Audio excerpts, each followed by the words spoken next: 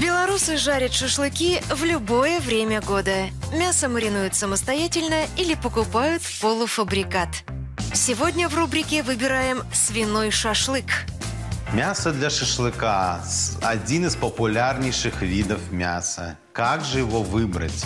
Есть уже много полуфабрикатов, которые за вас уже замариновали. Но помните, что маринад, в маринаде есть особенности. Что-то маринуют в майонезе, в уксусе, в специях. Теперь по порядку. Майонез, помним о том, что э, на майонезной основе то, что хранение уменьшается, да, и может дать кислинку свою, да. Если это уксус, хотя уксус уже отошел, но еще используют, да, э, в наших реалиях. Уксус тоже, да, он дает как бы э, мягкость мясу, но это, опять же, стереотипы.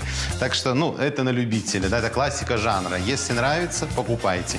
И в каких-то специях или травах, да, сейчас существует очень много маринадов, поэтому э, это уже на ваше усмотрение. Конечно, лучше брать мясо с, э, с прожилками жировой ткани. Ну, как правило, это шейная часть, потому что шашлык тогда получится сочным.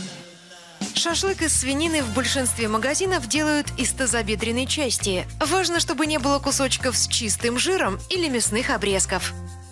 Когда вы приходите в отдел и видите э, уже замаринованный шашлык, обращайте внимание и на размер куска, да, то есть он не должен быть слишком мелкий, потому что у вас высохнет мясо моментально, и он не должен быть очень крупным, потому что он не прожарится, то есть э, 3-4 сантиметра э, размер идеального куска шашлыка.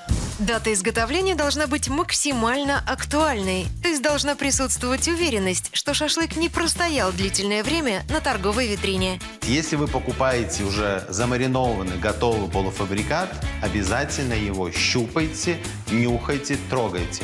Конечно же, если шашлык или мясо уже подпорченное, вы, конечно же, услышите явный запах кислоты, и специя не спасет испорченный продукт.